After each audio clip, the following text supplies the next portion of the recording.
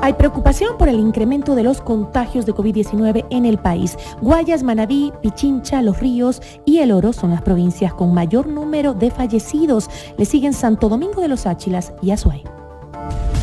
La entrevista a la carta, en diálogo directo con los protagonistas de los hechos. 13 horas con 38 minutos nos acompaña Esteban Ortiz, investigador de salud pública de la Universidad de las Américas. ¿Cómo está? Muy buenas tardes, doctor. Gracias por acompañarnos. Hola, Gise. Muy buenas tardes. ¿Cómo les va? Un saludo a todos. Muy bien, siempre es un gusto conversar con usted. Doctor, cuénteme, ¿cómo ve usted eh, hay, eh, esto del incremento de los contagios? Algunos sectores médicos dicen que se trataría de un movimiento normal o una acción normal de este virus, otros dicen que no que estamos llegando justamente a esa saturación de la que eh, se hablaba que había que evitar. ¿Cuál es realmente la situación y si realmente se conoce cómo se está moviendo el, virus? Bueno, lo principal es eh, un llamado de atención a las autoridades, eh, ya que los datos, a manera de datos, que es lo que nosotros utilizamos para modelar y para analizar, usualmente no está disponible. Por lo tanto, es un poco complejo asegurar que la situación actual está yendo, por ejemplo, en la vía que nosotros queremos o la que esperamos o en realidad en la que estamos viendo actualmente. Por otro lado, por ejemplo, nosotros hemos acabado de analizar los datos de, mortalidad diaria y definitivamente hasta el día de ayer, que nosotros revisamos los datos del registro civil de las muertes diarias, pues las muertes mantienen una tendencia similar a las que tenían en enero. A ver, yo no quiero aquí tranquilizar a la gente para nada. Las muertes de enero incluían accidentes de tránsito, violencia civil y un montón de cosas que nosotros no tenemos ahora y que seguramente las muertes responden a COVID-19. Pero a lo que yo voy es que el sistema sanitario definitivamente se colapsó hace varias semanas y por eso es que se abren cada vez más terapias intensivas y la idea es irle ganando al avance de los casos. ¿Cuál ha sido el problema en las últimas semanas? Lo que nosotros hemos visto, hemos ido al campo, hemos ido a las provincias y hemos estado en Quito recolectando muestras, es que existió, eh, a ver, una relajación, si se quiere, de las medidas de contención se dio desde inicios de mayo. Yo creo que el 15 de mayo, más o menos en la fecha del Día de la Madre, pues hubo un contagio muy importante a nivel nacional, eso lo hemos ratificado en el Oriente. En Quito responde a que más o menos 15 días después, que es el tiempo de incubación, el tiempo de desarrollo de enfermedad, empezamos a ver picos altos de Y fue justamente en ese momento que empezamos como a relajarnos con las medidas, a salir un poco más. De fue justo en ese momento. Precisamente, sí, precisamente la primera semana de junio, nosotros estábamos en teoría en semáforo amarillo y hoy, esta semana, pues es la semana clave en la cual nosotros veremos si es que en realidad la gente aprendió y sale con mascarilla, está con distanciamiento físico o en realidad vamos a tener un repunte exponencial de los casos. ¿Cuál es el mensaje que yo quiero dar? A ver, enfermarse es ahorita un crimen de cualquier cosa. Todo lo que podamos prevenir, pues tiene que ser prevenido. Accidentes de tránsito, prohibir el consumo de alcohol, etcétera. Porque el sistema en Quito, pues lo que hizo fue contener los casos que en Guayaquil se presentaron en menos de tres semanas, miles de casos y miles de muertes, en Quito lo, lo prorrateamos por cinco o seis meses. Bueno, eso era lo que se quería llegar justamente, doctor, a, parar un es, porque no es que con eso estamos sanándonos, sino que simplemente lo que estamos haciendo es no colapsar, o sea, lo que se quería hacer es eso, precisamente, extender la actitud del virus, que no se contagie tanta gente para poder atender a los que estén más graves, nada más. Pero eh, es el hecho que ahora, después, que, eh, por ejemplo, usted puso el ejemplo de Guayaquil, que Guayaquil eh, se, desbordó porque en pocos días, pues, se, se registraron demasiados contagios y obviamente el sistema de salud no pudo con ellos. Ahora, en Quito está parece, al parecer ya llegando al colapso o llegando al, nivel tope la capacidad de los hospitales. Eh, pero sin embargo hay unos que dicen, no, en Quito no va a pasar lo que pasó en Guayaquil porque nosotros hemos ido más lento, más como conteniendo lo que usted dice, conteniendo esa cantidad de contagios. Y sin embargo hoy ya estamos con los hospitales al tope. De acuerdo, a ver, lo que pasa es que, y mi lectura, y esta, hemos tenido algunas discusiones con otros colegas, yo, por ejemplo, he discernido con colegas que tienen otra postura. Para mí lo que estamos viendo en Quito era lo esperado. Usted bien lo, dijo, básicamente hemos prolongado el, el número de contagios a largo tiempo Y yo, por ejemplo, he visitado las terapias intensivas en estos días en los hospitales que hemos hecho las pruebas de PCR, definitivamente están al punto del colapso. O sea, cada noche si es que fallece una persona, se libera un ventilador. Si es que una persona se va de alta, se llena inmediatamente ese ventilador. Hay gente que está esperando los ventiladores. Pero acordémonos las imágenes lamentablemente dantescas que se veían en Guayaquil de gente en las calles que no podía acceder a los, a los hospitales ni siquiera a recibir oxígeno. Eso no se ha dado en Quito todavía. Y aquí viene el llamado de atención a la población. Estamos en el peor momento. ¿Por qué? Porque la gente está afuera, y hoy es cuando tenemos que tener mucho más cuidado. Yo creo que el Día de la Madre nos jugó definitivamente eh, una mala pasada, la marcha que hubo el 25 de mayo seguramente aglomeró a gente, también nos jugó una mala pasada, y, no me refiero a, las razones de cada una de estas, simplemente es la dinámica de transmisión. Tú pones a mucha gente en un mismo lugar, pues y es la es la es la es la dosis perfecta para pero hay que entender justamente que es un riesgo lo que lo que estás haciendo. O sea el, el, salir el, estar en por ejemplo escuchado de fiestas de, padres que han dicho dejemos de salir a los chicos porque han estado mucho tiempo encerrados y resulta que se fueron a hacer un haciendazo y salieron todos contagiados y ahí es cuando llegan a casa y seguramente eh, Muere el abuelito, muere el padre que era hipertenso, muere, muere quienes tenían afecciones eh, respiratorias. Entonces creo que eh, hay muchas razones por las cuales nosotros o queremos o nos da la gana o necesitamos realmente salir. Pero el problema es que no acabamos de entender lo peligroso que esto sigue siendo. Totalmente de acuerdo. A ver, yo entiendo eso. Todos hemos estado encerrados. Es imposible mantener a una población encerrada, especialmente la gente que requiere comer del día a día, salir a trabajar. Esas personas no pueden contenerse en sus casas y esas personas es lo que hemos visto, por ejemplo, en los barrios más populares de Quito, es donde más muertes hay. Y eso es obvio. ¿Por qué? Porque la gente tiene menos recursos, la gente trabaja al día y no tiene un sueldo mensual que le permite estar en su casa. Y esto de aquí ha sido obviamente el resultado de tratar de alargar, si se quiere, el contagio, de ralentizar el número de casos disminuir la velocidad de contagio. Y para mí, a ver, y aquí he tenido yo discusiones y me hago responsable de mis palabras. A ver, yo pienso que los datos pues son claros. Nosotros no somos un país como tal que podemos manejarnos como país. Tenemos distintos tiempos. Guayas tuvo ya una, una, una, una epidemia, o más bien dicho, tuvo un, brote diferente al de la provincia de Pichincha y cada provincia tiene que saberse manejar conforme la dinámica de transmisión. permíteme que le Para mí interrumpa. la solución es esa, ¿no? Ah, doctor, en este punto, con la comparación que usted está haciendo, hay que... Eh, a, apuntar algo, y es el hecho de que cuando Guayaquil eh, superó el nivel de casos y saturó al sistema de salud, recién empezábamos con la pandemia. En cambio, en este momento ya tenemos 50% más camas de terapia intensiva que lo que teníamos cuando Guayaquil se disparó con los casos. Entonces ahora el, enfrentar el COVID es un poco eh, más, no diría fácil porque nunca será fácil, pero es un poco más factible, digamos que así, o me equivoco. Totalmente de acuerdo con usted. A ver, la, la idea, y acordémonos de a tres meses atrás, todos hablábamos de aplanar la curva, aplanar la curva, y aplanar la curva es lo que hemos hecho nosotros, alargar, ganar tiempo, duplicar las terapias intensivas, eh, contratar más personal. A ver, aquí viene mi, mi, mi, mi digamos, mi, conflicto de interés que no tengo. Yo no trabajo para el gobierno, yo no trabajo para el ministro Ceballos, yo trabajo en la academia y lo que yo he visto es que, por ejemplo, las camas se han logrado expandir en terapia intensiva. Más del 50% de camas. Sí, que ha, permitido, que ha permitido precisamente que la gente no se muere en las calles, lo que pasó en Guayaquil.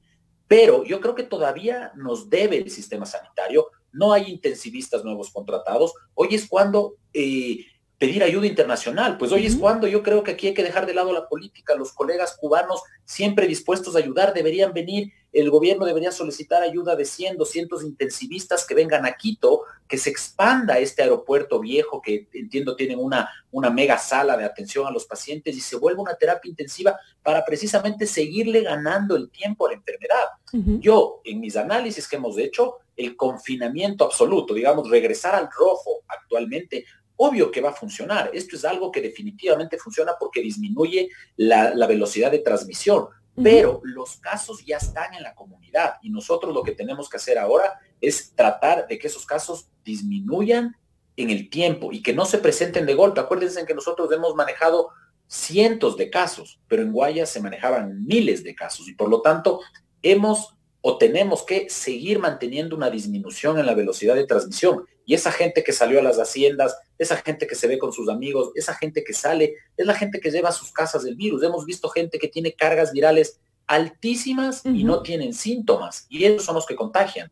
Exacto. Y ahora, eh, por ejemplo, se habla, es el tema de, vivir con esto ya, ya tiene que estar en nuestra conciencia, ¿no? Porque no sabemos cuánto va a durar esto, cuándo van a encontrar una, vacuna. Por ejemplo, ahora se hablaba de que la dexametasona sería el primer fármaco eh, que puede salvar la vida de pacientes graves con coronavirus y, se está, y ya ha sido aprobado por la FDA de los Estados Unidos. ¿Cómo cree usted que avanza eso de, la, de, encontrar una cura, de, encontrar una vacuna que nos alivie la situación que estamos viviendo hoy en día?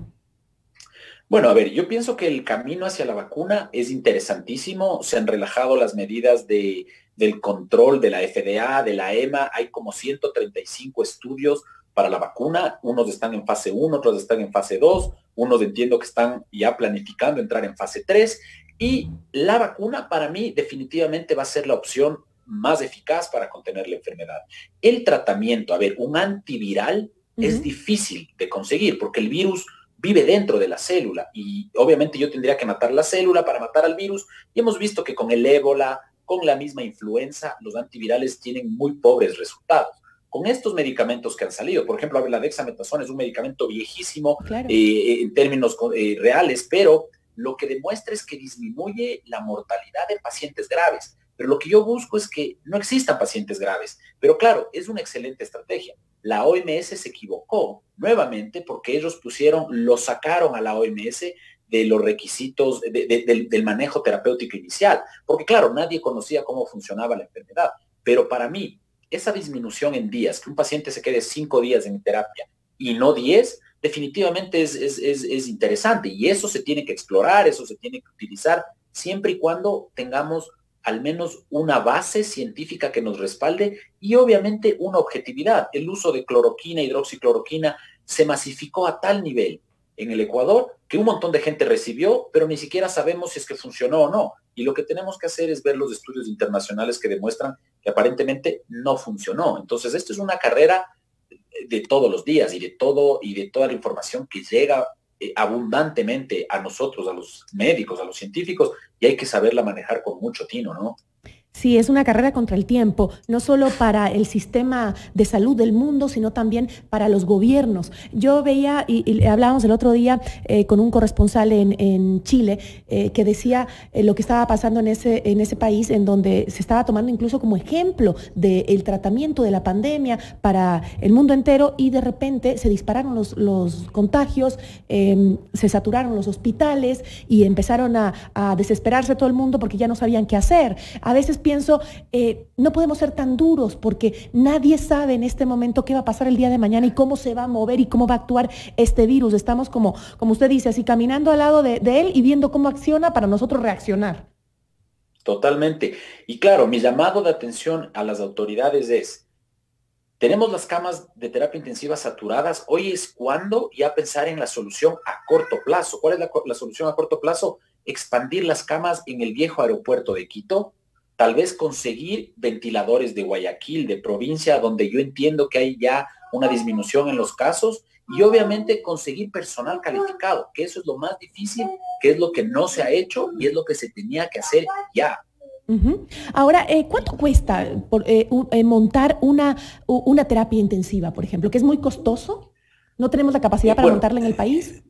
Definitivamente, a ver, lo que se necesita principalmente son los, eh, los, los, ventiladores, que esto es lo más difícil de conseguir, pero entiendo que ya se han donado algunos y obviamente lo difícil es el personal. Intensivistas en Quito, todos están en el sistema público trabajando a tope y en el sistema privado yo creo que existirán 20, 30 personas que están trabajando a esas 20, 30 personas habrá que tratar de contratarlas en el sistema público a manera de un contrato tiempo parcial, pagarles por horas y obviamente hacer el llamado a la comunidad internacional, porque lo difícil, a ver, la toma de oxígeno y el ventilador hasta cierto punto puede ser solventable, pero necesitamos personal calificado. Y ahí yo veo que el Ministerio de Salud no ha tomado todavía la iniciativa de buscar ese personal de salud.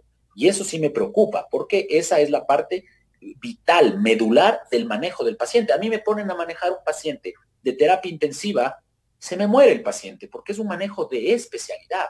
Entonces es más complejo de lo que pensamos. Y sí, y mantener, yo creo que la recomendación a la gente es, eh, sí, estamos todos tensos, estamos todos con ganas de volver a salir, de volver a vernos, de, pero, pero hay que mantener las distancias, hay que trabajar desde casa si se puede. Eh, ahora se ha extendido también el, estado de, excepción en el país, justamente por eso, porque tenemos que seguir manejándonos de acuerdo a cómo se mueve esta, esta enfermedad. Incluso usted está ahora en casa también eh, recibiendo esta entrevista y se oye a su hijo que está desesperado que quiere hablar con usted. y sin embargo, le agradecemos muchísimo por haberse dado el tiempo desde casa. Es lo que tenemos que hacer todos, ¿no? Buscar la forma de trabajar como podamos, pero evitando salir, evitando el contagio, porque es, es tan irresponsable. Es lo que eh, comentábamos con el tema de, de, que los chicos salgan. Sí, todos tenemos hijos y nos desesperamos porque están encerrados, porque su juventud, que si no va a ser la fiesta de fin de año, que me parece terrible que ahorita piensen en fiesta de fin de año no, pues se quedan en casa. El día de mañana encontrarán la historia de lo que vivieron, que es realmente un, un, tema tan importante y tan difícil para toda la humanidad, que es anecdótico que lo estemos viviendo hoy en día y lo podemos contar a nuestros nietos, nuestros hijos. Claro, totalmente, y ahí estoy de acuerdo. Es durísimo, yo entiendo, nosotros, yo he salido muy pocas veces, bueno, yo estoy muy ocupado, pero en la casa tenemos que quedarnos los que podamos. Y sí, Tiempos difíciles hacen seres humanos fuertes y seres humanos fuertes eventualmente facilitarán la vida de nuestros hijos. Entonces hoy es cuando estos jóvenes que sé que nos están escuchando tienen que poner de parte y obviamente entender que esto nos va a marcar la vida. Es un hito histórico que definitivamente nos va a moldear como ha moldeado la historia de la humanidad.